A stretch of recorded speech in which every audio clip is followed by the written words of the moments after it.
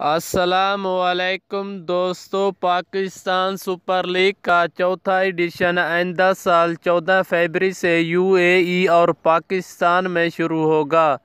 League کا final match ستارہ مارچ کو کراچی میں کھیلا جائے گا۔ میڈیا رپورٹس کے مطابق لیگ میں چھ ٹیمیں ٹائٹل کے حصول کے لیے پنجہ ازمائی کریں گی۔ پاکستان سپر لیگ کا افتتاحی میچ چودہ فیبری کو دفاعی چیمپئن اسلام آباد یونائٹڈ اور لاہور قلندر کی ٹیموں کے درمیان دبئی میں کھیلا جائے گا۔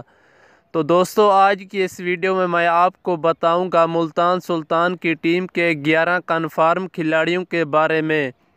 ویڈیو شروع کرنے سے پہلے میری آپ سب سے ایک چھوٹی سی ریکویسٹ ہے۔ اگر آپ دوستوں نے ابھی تک ہمارا چینل سبسکرائب نہیں کیا ہے، تو نیچے سبسکرائب کے ریڈ بٹن پر کلک کر کے چینل کو سبسکرائب کر دیں۔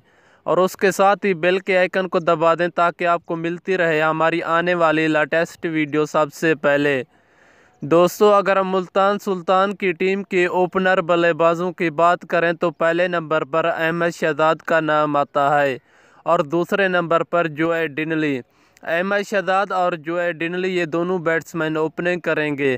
اگر ہم مڈل آرڈر بلے بازوں کی بات کریں تو تیسرے نمبر پر نیکلس پورن کا نام آتا ہے۔ نیکلس پورن ایک وکٹ کیپر بیٹسمین ہے۔ اگر ہم چوتھے نمبر کی بات کریں تو شعیب ملک کا نام آتا ہے۔ ملتان سلطان کی کپتانی بھی اس سال شعیب ملک کرے گا۔ اگر ہم پانچویں نمبر کی بات کریں تو بوم بوم شہد افریدی کا نام آتا ہے۔ شہد افریدی پاکستان کا ایک ہیرو ہے۔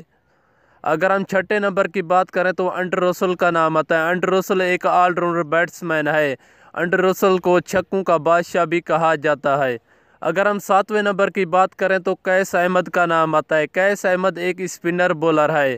اگر ہم فاسٹ بولروں کی بات کریں تو آٹھویں نمبر پر جنید خان کا نام آتا ہے اور نویں نمبر پر محمد عباس دسویں نمبر پر محمد عرفان اور گیارہویں نمبر پر شکیل انصر کا نام آتا ہے۔ دوستو، یہ ہیں ملتان سلطان کے گیارہ کھلاڑی جو میں نے آپ کو بتائے ہیں۔ اگر آپ دوستوں کو میری یہ ویڈیو اچھی لگی ہے تو نیچے لائک کے بٹن پر کلک کریں۔ چینل پر نئے ہیں تو چینل کو بھی سبسکرائب کر دیں۔ شکریہ فرینڈز، اللہ حافظ۔